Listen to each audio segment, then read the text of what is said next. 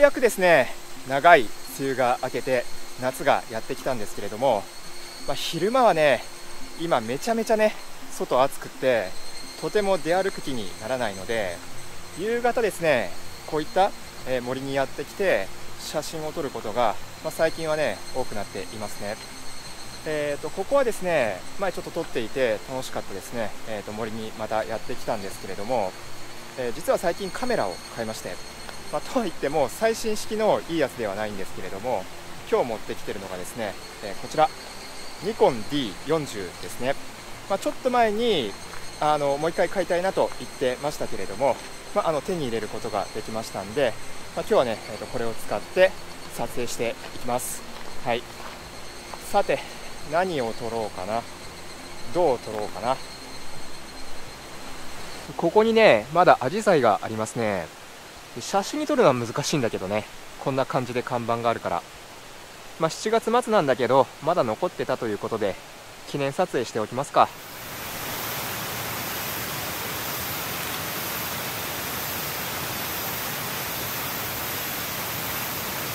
なんか懐かしいですね。こう一眼レフのシャッター感覚。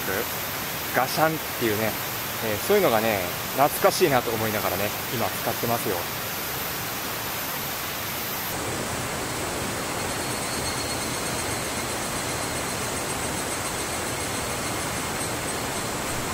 この辺りからスローシャッターで撮るといい感じの写真が撮れそうなんですよね。どうだ？うん。いや大惨事発生。すっ転んでねべっちゃべちゃになってしまいました。まあ、幸いここの川ね落ちたところであの浅いんでねあの命に別状はないんですけれどももうねドロッドロですよ。こっから撮るのやめた。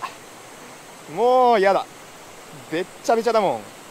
こちらのカメラ何せ久々に使いますんでちょっと使い方忘れてたんですけど露出補正はですねこのボタンをプッシュしながらちょっと画面飽和しちゃってますけれども、えー、ダイヤル回す感じなんですね。いや本当久々だからね細かいところねやっぱり忘れてますよ、まあ、使いながらね思い出していく感じです。カニくん発見しました。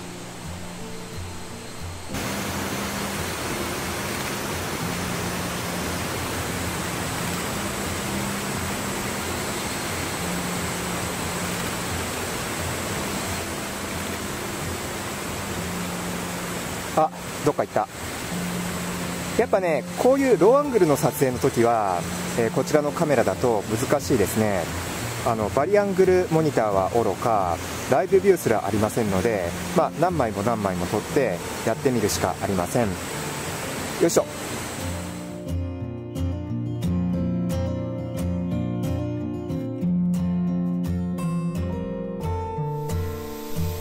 それでは日も暮れてきましたしここら辺ですねうっそうと生い茂っていますのでね、ままだ足元が明るいうちに帰るとしましょう。はい。今日はこれぐらいで撮影終了です。今森から出てきたんですけどいい感じのところにエノコノグサがありました。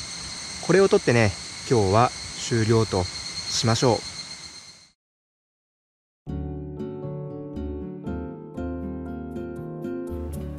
ということで、こちら、ニコンの D40 というですね、カメラなんですけど、まあ、僕にとっては思い出の詰まった機種なんですよね。それを再び手に入れましたので、まずはね、これを使ってちょっと遊んでる様子からご覧いただきました。はい。で、以下はですね、まあ、その思い出とかをダラダラと語っていく感じなので、まあ、お付き合いいただける方はどうぞっていうね、え感じですよ。はい。で、こちらのですね、カメラ、まあ、だいぶ古いんですけれども、一応ですね、えっ、ー、と、スペックについても触れておくと、こんな感じですね。なんといってもですね、センサーが600万画素の CCD ということで、時代を感じますね。もう十何年前になるのかなはい。相当ね、えっ、ー、と、古いデジカメですよ。えー、久々にね、持ってみて、ああ、懐かしいな、こんな感じだったなっていうね、えー、と雰囲気に、まあ、そういうですね、心象に僕はね、なりましたね。ただね、当時よりもなんかちっちゃく感じますね。もしかしたら僕がこの十数年間で成長してしまったのかもしれない。はい。まあ、それはともかくですね、これニコンのね、エントリー機なんですけど、実はね、あのニコンのエントリー機って、エントリーの皮をかぶったマニア向けカメラみたいなね、側面があるんですよ。まあ、それはね、どういうことかと言いますと、こちらにですね、ニコンの F5 というフィルムカメラがあります。フィルムカメラなんですけれども、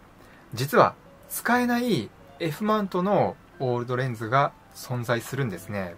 もう装着できないんですよ。はい。えー、この前ですね、ジャンクコーナーで買ってきた 50mm の F2、300円ぐらいだったかな。これをね、えー、取り付けようと思ったら、うまくね、はまらないんですよね。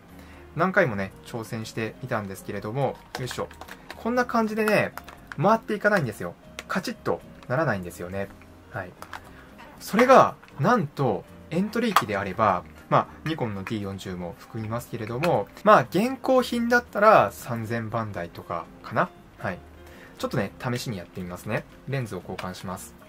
えー、こちらから、こちらに、ちょっとね、変えて取り付けしようと思うと、よいしょ。ほら、カチッとね、はまっちゃうんですね。つまり、オールドレンズの母艦にもなるんですよ。もちろんですね、電子接点はないので、フルマニュアルで撮影することになるんですけれども、まあそういったね、あの楽しみ方もできる。ある意味ね、こう、ニコンマニア向けみたいな感じの側面もあるんですね。はい。えっ、ー、と D40 ね、意外なそういったね、側面があって、しかも600万画素と低画素ですから、まあ古いレンズとかでもその欠点が目立ちにくいというメリットがあるわけです。うんまあ、それはともかくですね、えー、ちょっとこれからはダラダラと、まあ、自分のですね思い出を語っていく感じなんですけど、えー、とこちらのカメラねあの一番最初に自分が買ったデジタル一眼レフカメラなんですよねでそれも確かあれは入学祝いだったかな、うん、そんな感じのですねメモリアルな一品なんですよでもちろんですね当時はいろいろわからなかったのでえー、っと、キットズームで買いました。この1855のセットでですね、購入しました。ちなみに、あの、当時カメラ店に行ってですね、選んだんですけれども、あの、キス DX ね、まあ、そちらと比較したんですけれども、なんとなくね、あの DX の方がおもちゃっぽいなと思っちゃったんで、えー、D40 選んだんですよね。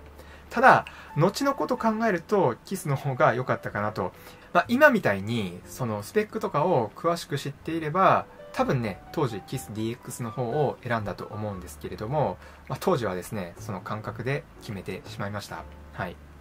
でね、結局こちらを買って一番何がやりたかったかと言いますと、天体写真の撮影ですよ。で、このね、マニュアルモードがついてる。そしてバルブ撮影ができるっていうところが、まあ、自分にとっては最大のポイントだったんですね。